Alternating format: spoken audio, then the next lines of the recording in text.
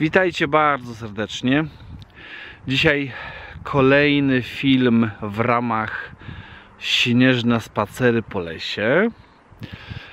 Ym, Chciałbym zrobić odpytajkę z czasownika sich verabschieden von, czyli czasownik polski żegnać się z kimś. Zapraszam. Zanim zaczniemy budować zdania z tym czasownikiem, będziemy go odmieniać. Najpierw przyjrzyj, przyjrzyjmy się mu, zobaczmy co to za czasownik, jak jest zbudowany, bo to nam potem pomoże w odmianie i tak dalej. Czyli podsumujmy sobie najważniejsze cechy, Czechy, cechy czasownika sich verabschieden. Po pierwsze, to jest czasownik zwrotny, czyli ma zaimek zwrotny sich. E, Jest to istotne, ponieważ przy odmianie tego czasownika przez osoby musicie je dopasować odpowiednio do zaimka osobowego. Skoro ja się żegnam, to jest ich verabschiede mich.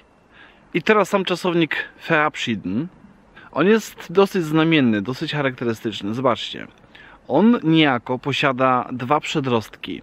Przedrostek ver i przedrostek ab. Pamiętajmy, że e, obydwa przedrostki e, działające solo e, stanowią przedrostki do innych czasowników. Na przykład ver stanowi do przedrostek do czasownika rozumieć, czyli verstehen. Albo do czasownika obiecywać, versprechen. Natomiast przedrostek ab sam solo też funkcjonuje jako, jako przedrostek do czasowników. E, W czasowniku abnehmen od, odebrać, przy czasowniku abgehen, przy czasowniku abfahren. Natomiast w tym czasowniku sich verabschieden e, te dwa przedrostki spotykają się. Oczywiście trzeba wspomnieć, że czasownik verabschieden to nie jest jedyny czasownik, który ma z przodu verab, tą przedrostkę zbitą z dwóch przedrostków. Myślę, że znacie czasownik umawiać się, verabreden, verabreden. I trzecia cecha charakterystyczna tego czasownika jest taka, że tam jest schieden. Jakby ten czasownikiem podstawowym jest schieden. I teraz, jeżeli ktoś z Was jest na jakimś poziomie średnio zaawansowanym lub wyższym, możecie, możecie kojarzyć tą formę schieden, że to jest. em, możecie skojarzyć to z tym, że mogło to by być czas przeszły od scheiden. Jest taki czasownik scheiden. Jego formy e, czasu przeszłego to jest schied i geschieden. I teraz wir schieden to jest właśnie to znaczenie, co tutaj widzicie. Natomiast jak się to ma do schieden od verabschieden? E, No nijak. Schieden jest już jest czasownikiem podstawowym. Rozumiecie? To nie jest jego forma czasu przeszłego i e, to może namieszać. Przynajmniej pamiętam, że mi to mieszało. Wydawało mi się, że to jest czasownik nieregularny, a on w sumie jest regularny. Bez ich verabschiede, ich habe verabschiedet. Nie? Tak brzmi jego czas przeszły.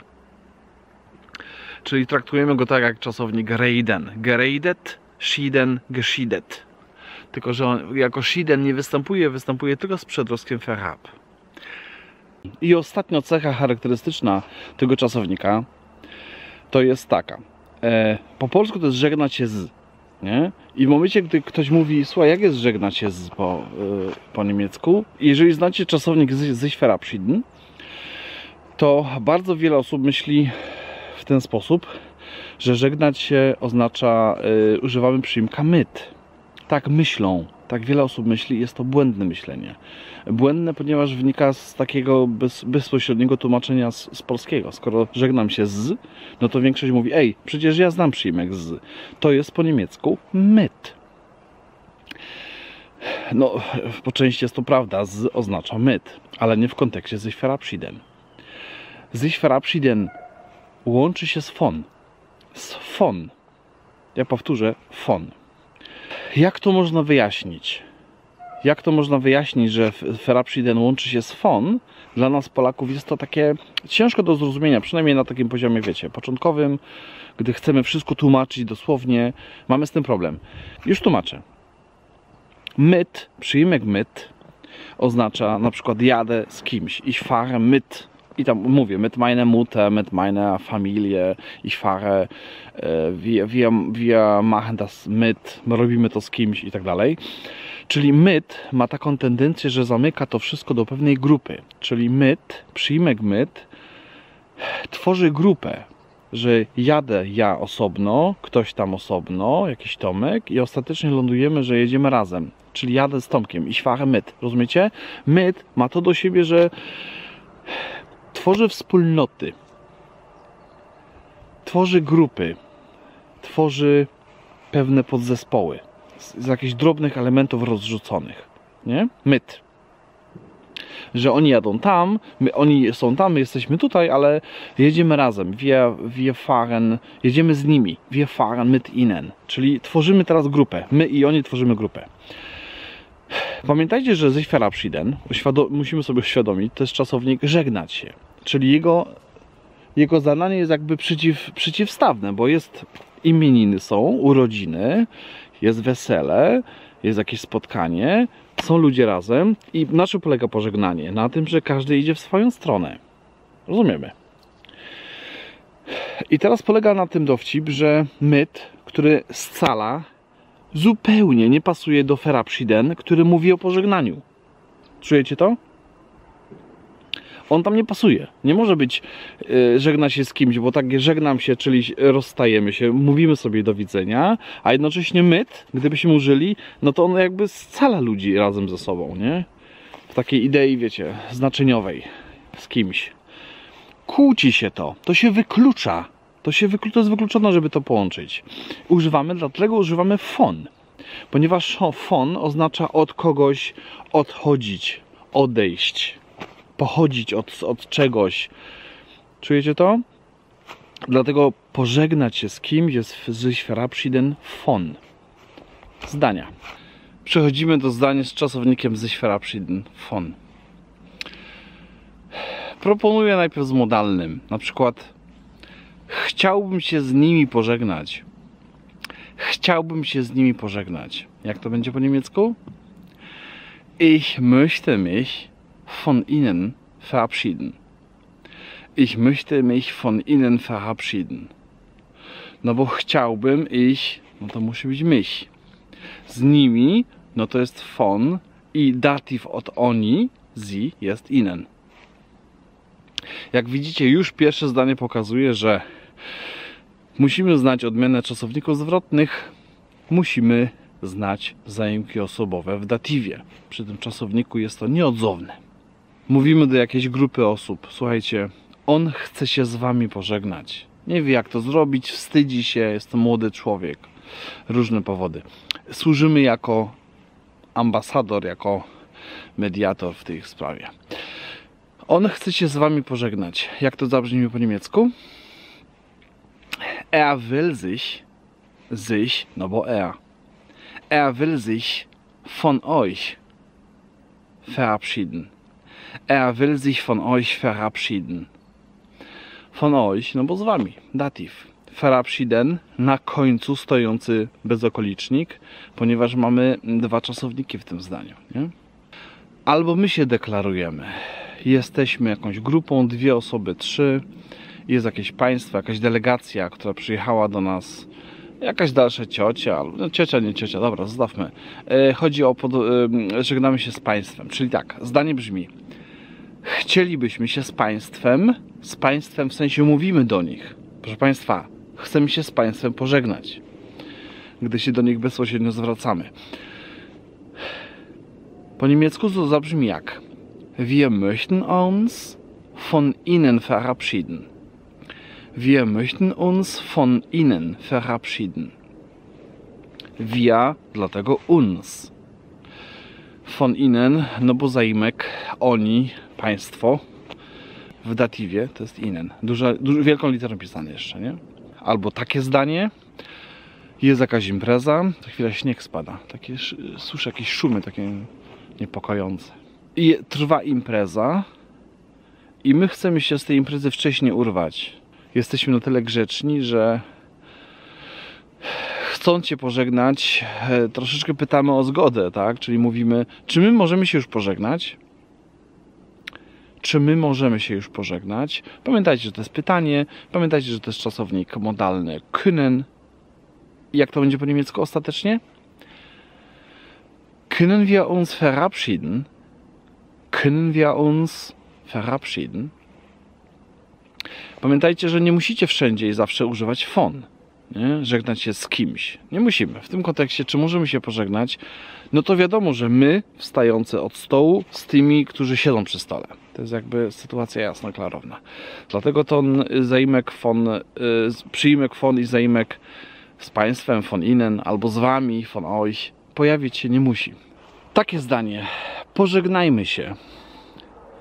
Czyli rozkaz, ale do nas. Nie do nich, nie do was, nie do ciebie, tylko do nas. Do, słuchajcie, pożegnajmy się. Jak to powiedzieć? Lass uns verabschieden. Lass uns verabschieden. To jest taki zwrot, mm, który bazuje na takim innym zwrocie, mianowicie lass uns gehen. Chodźmy. Lass uns gehen. Kojarzycie to? Oczywiście, jak powiecie gehen wir, chodź idziemy, albo wir gehen, to też może być polecenie, zalecenie pójścia, ruszenia, na przykład wycieczka turystyczna, jakaś grupa, która się zastała w jednym miejscu i teraz przewodnik mówi, słuchajcie, via gehen. Zrozumieją, zrozumieją to Niemcy. Gehen via, zrozumieją to Niemcy. Ale lass uns gehen jest lepsze. Rzekłbym najlepsze. I na tej bazie jest ten zwrot lass uns verabschieden. Pożegnajmy się. Kolejna sytuacja. Yy jakieś rodzice z dziećmi przyjechali, dzieci się świetnie bawią z dziećmi gospodarzy, gospodarzy na tym miejscu. No i, i, dochodzi do sytuacji, kiedy rodzina chce wracać do siebie, ta, która przyjechała w gości, no ale dzieci nie chcą. I jest, jest stwierdzenie faktu, one nie chcą się żegnać. Jak to będzie po niemiecku? Sie wollen sich nicht verabschieden. Sie wollen sich nicht. Sie wollen musi być. Sich wynika z czasownika zwrotnego. Tu następuje dopiero negacja nicht. No i na końcu czasownik zamyka. Albo ktoś nie chce się żegnać i my go pytamy, słuchaj, dlaczego nie chcesz się z nimi pożegnać? Dlaczego nie chcesz się z nimi pożegnać? Zdanie się już robi ekstra długie, ale myślę, że do poradzenia sobie. Warum willst du dich nicht von ihnen verabschieden? Warum willst du dich nicht von ihnen verabschieden? Ja to robię takie pauzy między słowami, nie powinienem tego zrobić. Dobra, powiem to jeszcze raz. Warum willst du dich nicht von ihnen verabschieden? Warum willst du dich? Do tego momentu jest element czasownikowy, czyli jest du, jest odmiana, jest zwrotny element potem następuje negacja, potem następuje z kim chce się ta osoba nie chce w tym przypadku żegnać, von ihnen, no i czasownie na końcu stojący verabschieden. Takie pytanie. Tutaj użyjemy sobie teraz tego czasownika w czasie teraźniejszym, bo nie wiem, czy się zgodzicie ze mną, ale rzadko mówimy ten czasownik w czasie teraźniejszym, typu, że ktoś się żegna z kimś, ja się żegnam z nim. To w sensie o, śnieg. E, w sensie nie widzę sytuacji, w której ktoś by, tak jakby ktoś to robił i komentował. Wiecie, taka sytuacja, no nietypowa, nie? Typu, że o, ciociu, do widzenia, au wiedersehen. I teraz to mówisz, ja żegnam się z ciocią. No to pytanie, do kogo to mówisz? Do cioci? No brzmi to dziwnie, nie? Ale jest parę sytuacji, zdecydowanie jest, w których możemy użyć czasownika, czasownika ze Schwarabschieden w czasie teraźniejszym. Na ten przykład prezydent żegna się z panią kanclerz. No i znajomość rzeczowników prezydent i pani kanclerz. Czyli tak jakby mówili, mówili to komentatorzy, którzy obserwują to na ekranach telewizorów, na monitorach w momencie jakiejś tam wizytacji politycznej, e, wiadomo. Jak to zabrzmi po niemiecku? Der Präsident verabschiedet sich von der Kanzlerin. Ja to powiem teraz w całości. Der Präsident verabschiedet sich von der Kanzlerin. Verabschiedet sich. Zwróć uwagę na to, że czasownik, że musi być końcówka że musi być końcówka ty, ferapsid i co? Ty postawicie obok tego? Nie, nie, nie, nie, nie. Ferapsidet. Samogłoska e stanowi rodzaj łącznika między spółgłoską d i spółgłoską t. Tak to się dzieje. Ta, tą samą sytuację macie przy czasowniku, myślę, że bardziej popularnym, mianowicie reden. Rozmawiać, bardziej potocznie reden, nie? Ich rede, du redest, er sie es. Redet. Nie? Też nie macie reit, coś takiego, nie istnieje coś takiego. Tu jest podobna myśl. To jest podobna myśl. Verabschiedet sich.